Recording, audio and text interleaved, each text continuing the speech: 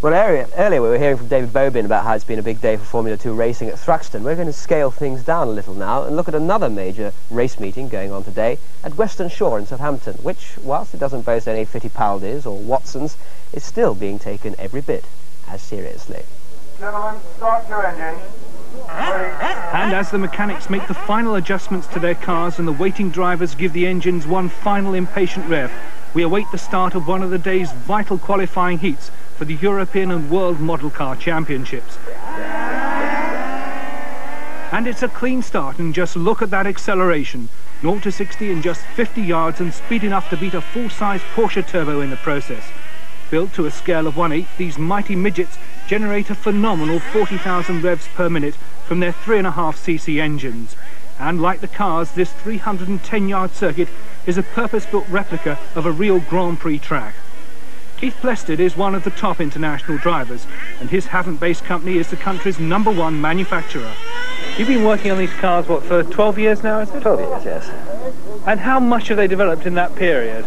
Oh, fantastic. They've changed from almost a powered roller skate, flatbed chassis, nothing more than a simple piece of aluminium with four wheels bolted onto them.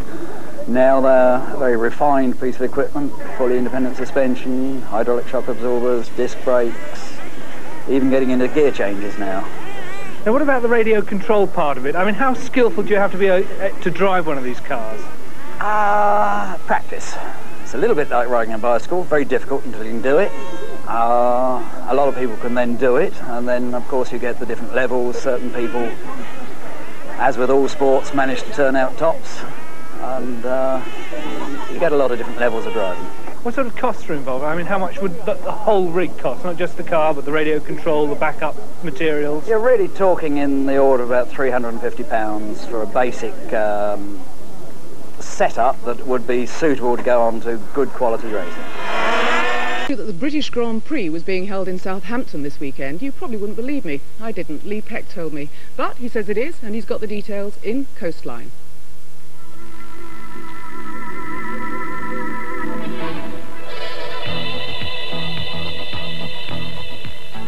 Going motor racing. Yeah, that's right, they're 1/8 scale model cars, and the British Grand Prix in question is the first of its kind ever held in the South. It's taken the Southampton Radio Control Car Club a year to organise, and more than 100 competitors from all over Europe, including an entrant from, would you believe, Australia, are taking part. Cars are cars all over the world. Cars are cars Engine in the front, jack in the back. Wheels take the front, pinion and a rack. Cars are This is the pits. And it's here that the cars are set up to perfection. And during Sunday afternoon's 45-minute final, there'll be stops for fuel and tyre changes. The engines may be small, just 3.5 cc's, but they catapult the cars to a top speed of 80 miles an hour. The cars are made at PB Racing of Havant, pioneers of the sport in this country. It began in America. So how much does it cost? Well, second-hand kit, controller and car can be picked up for about £150. New gear, £300.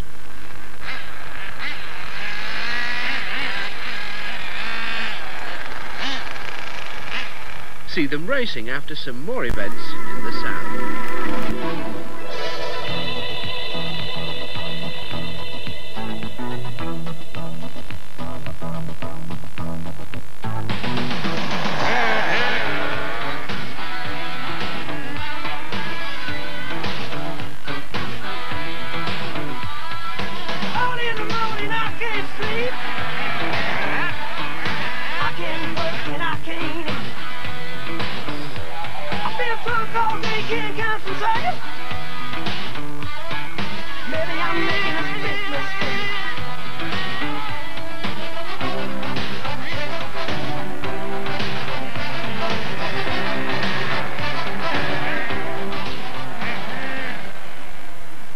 That's the British Model Grand Prix tomorrow and Sunday in Southampton. A winner is guaranteed.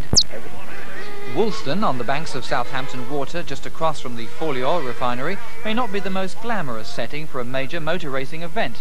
But many of the big wheels from the small world of model motor racing were there. 90 competitors took part, including Britain's top drivers and several European champions. The course in the final race is over 30 miles, and it's designed as a supreme test of man and machine.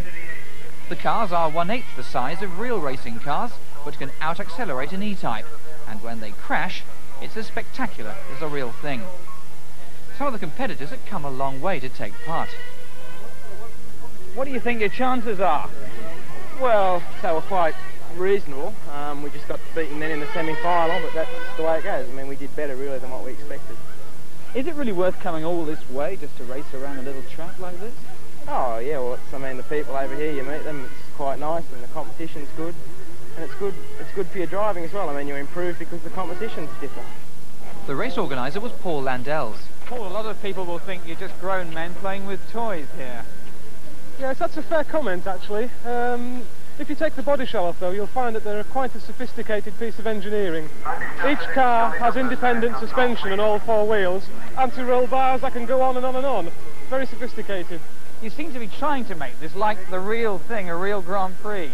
It is. I think we've learnt lessons from the real thing. You'll find in the main final today that the cars will actually be stopping for fuel at critical points during the race, and they'll also be stopping for a tyre change as well.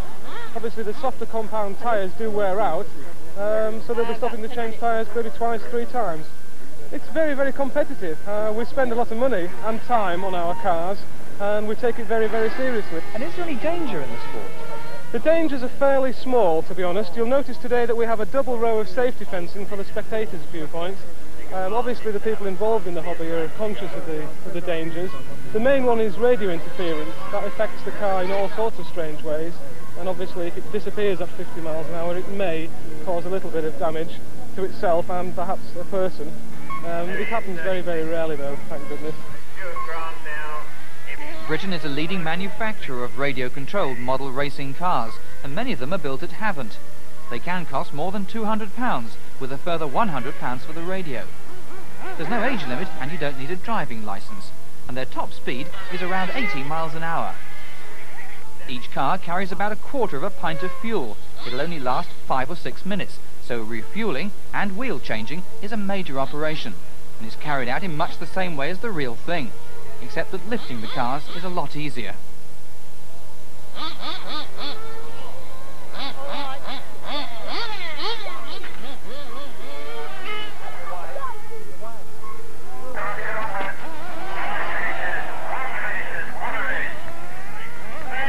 One of the leading contenders was Debbie Preston.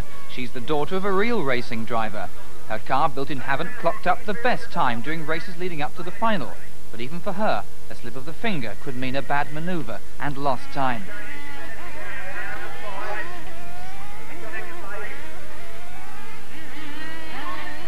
And at the end of it all, after more than 130 laps, the prizes. Not money, only trophies.